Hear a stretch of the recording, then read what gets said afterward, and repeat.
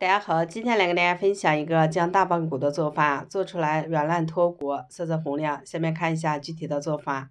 先来把大棒骨从中间分成两段，放入到冷水锅中，再加入葱姜料酒，大火焯一下水。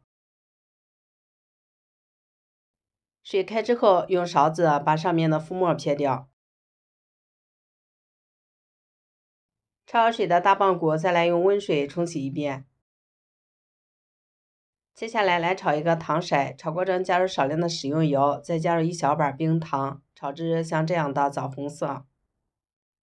再加入适量的开水，然后把大棒骨放到压力锅中，再把炒好的糖色倒进去，然后加入屏幕上的大料，再加入姜、生抽、老抽。蚝油，两大勺黄豆酱，再加入一小勺盐和没过大骨头的热水，盖上盖子，调至炖肉模式，压四十分钟。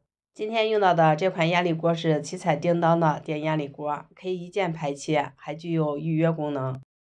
锅里面的气完全排干净之后，就可以打开锅盖了。来看一下这个色泽是不是非常的漂亮？这样做的大棒骨软烂脱骨，吃起来非常的香，喜欢赶紧做起来吧。